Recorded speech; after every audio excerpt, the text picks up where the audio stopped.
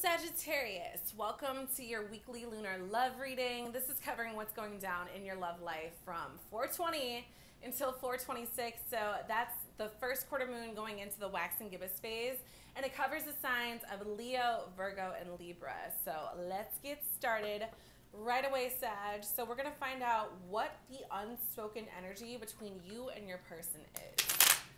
So here, shuffle once, cut three times. Okay, spirit guides of Sag spirit guides of Sag's person or whoever is on the other side of this reading, whatever this love interest is, whoever it is, come through these cards. We're going to find a very accurate answer for what's going on, what the unspoken energy is between Sag and their person during this first quarter moon phase. So we have the Seven of Pentacles in reverse.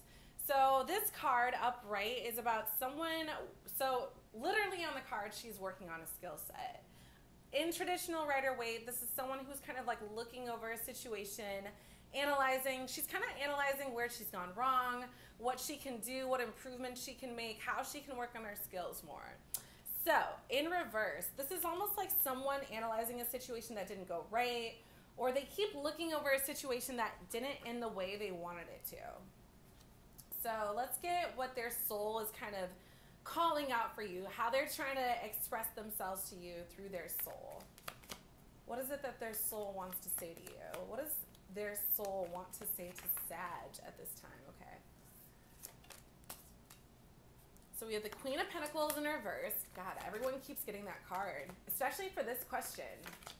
Very interesting. Okay, what else does Sag's person's soul kind of want to communicate to Sag? So we have the Nine of Wands upright. So the Queen of Pentacles in reverse is someone who's not really taking care of themselves. This is someone who's kind of either extending too much to other people or um, just completely kind of ignoring themselves or neglecting themselves or really not looking out for other people the way they should. So this is kind of, it's the energy of not providing the proper care. And then we have the Nine of Wands energy, which is like very defensive energy. I almost feel like this person, the way she's looking down, her head down, is kind of like ashamed, guilty. This person is kind of looking at this situation. They're looking back at this situation, at this relationship between the two of you. And they're like, I wasn't there for Sag. With the Queen of Pentacles in reverse, it's like they couldn't care for you. I feel like they're very ashamed of that. They feel very defensive about it when they're questioned about it. Maybe when you question about, like, yo, I want more time with you what's the deal? Why can't you offer this to me? I feel like they just came up short and they feel very defensive about it and they're very guilty about it or feeling very guilty about it. All right, let's see the bottom of the deck energy, which is the bottom line. So we have the Hierophant in reverse. So this is a five card. Fives are all about change. So I do think the dynamic is going to change between the two of you. But upright, this is kind of like focusing on the external status quo, jobs, school, institutions, things of that nature. In reverse, I feel like someone is, they're trying to come back to themselves. And I feel like this is your person. I feel like the energy is like they're trying to get out of this funk of, oh, things went wrong, shoulda, coulda, woulda. And I feel like they're trying to move into um, some sort of higher vibration that's not just focused on where things went wrong, how things went wrong how they can improve. Maybe, I don't know. It's a very kind of sad, low vibration, but I feel like they are trying to come out of that. So let's get more about what their soul wants to let you know, Sag, at this time during this first quarter moon. So we have time apart. I feel like they're thinking a lot about you during this time apart. Take that one. Faith.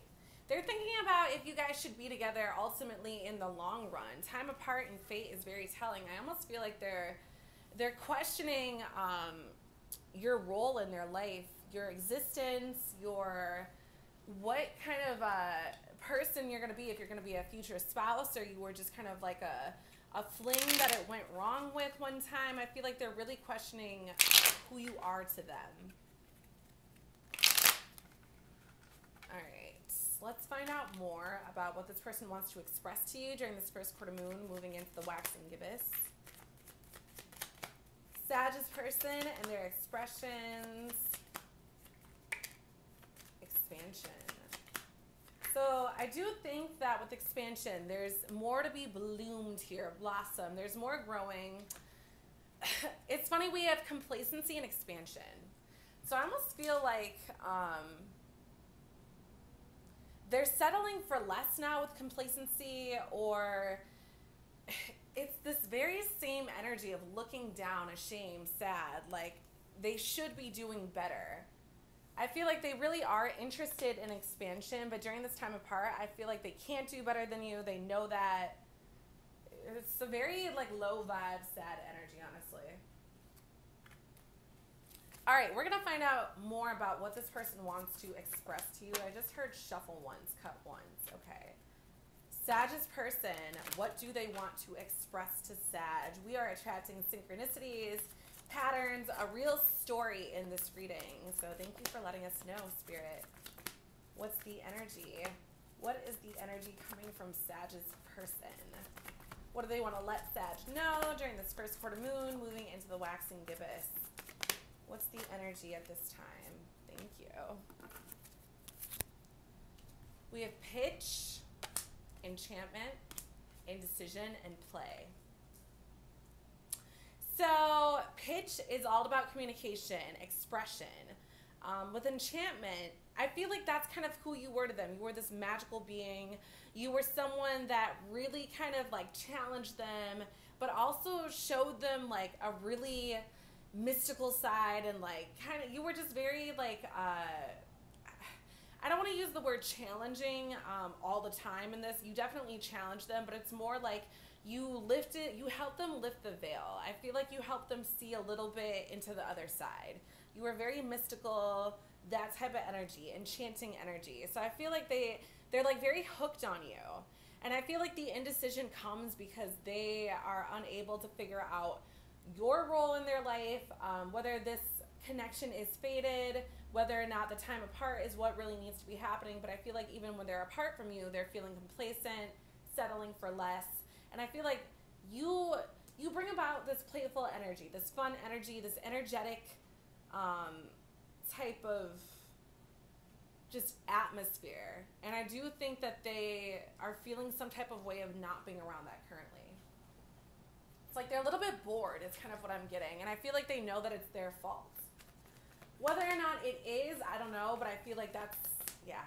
I feel like it kind of is though, because all this guilty energy kind of implies that they may have done something wrong.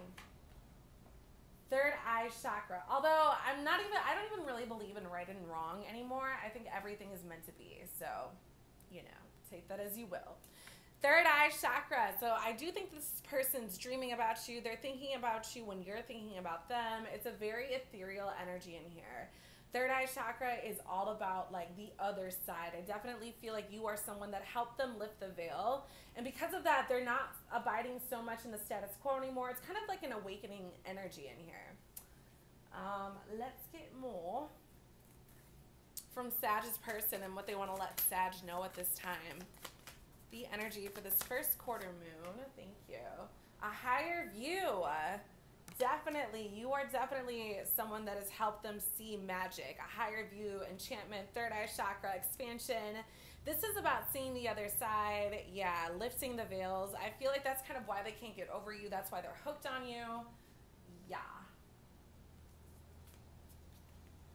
All right, all right, just go, just shuffle. All right. Anything else that Sag needs to know at this time? 420 to 426. The moon. Yo, this is a moon reading too. So I definitely feel like something in this moon phase is going to illuminate a secret or a revelation or a truth that should be revealed or is set to be revealed. So definitely make sure you're meditating, tune into spirit, pay attention to the moon cycles because I think the moon is going to have a pull on this connection, um, a very magnetic pull. So, yeah, the moon is all about your intuition, something coming to light. And I do think that since the moon is all about divine feminine, there is something about this enchanting energy. Clearing, yeah. I think uh, it's almost like the fog is being cleared, the veil is being lifted, third eye is being opened. It's about awakening. It's like an eye opening, It's kind of the imagery I'm getting. Let's get a final message from Sag and their person. Yo. We have two that wanted to flip out. So I think it's really interesting. We have assessing and peace. So with the assessing card, it reminds me of this Seven of Pentacles energy. Someone looking over something, something that didn't work out. But I feel like now they're trying to come out of this guilty, shameful energy and into the energy of balance and harmony and alignment with you. Um, I almost feel like they know that you're very intuitive. They know that you kind of play with magic, and I feel like they're trying to do that on their own. I feel like they're trying to use a little bit of what you got going on and use it for themselves. Like, huh, I wonder if I think about Sagittarius, will will we kind of be like on a more harmonious level? It's like they're kind of playing your your game here. All right. What's the number frequency Sag should know between them and their person for this first quarter moon going into the waxing gibbous phase? One and three is for stability, structure. I do think that there's more stability coming between the two of you. I think you guys are going to find uh, more common ground, be more on an even keel, because I think this person's waking up, and I feel like that's what this energy is about. So, yeah, that's what I see happening for you during this first quarter moon, moving into the waxing gibbous phase. I hope this resonated, Sagittarius. Thanks so much for watching, and I will catch you in the next weekly lunar reading.